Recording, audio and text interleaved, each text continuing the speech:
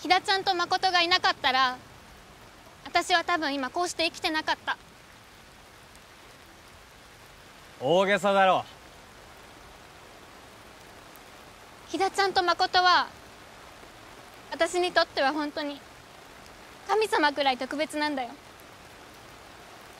二人がいない世界なんてありえなくって感謝とか恩とかそういう陳腐な言葉じゃ言い表せないくらい一日あれば世界は変わっちゃうんだよ。俺の世界はこう3人でできてるハッピーエンドでも悲劇でもさエンドロールが流れてくると涙が出るんだ。名もなき世界のエンドロール。あなたは心奪われる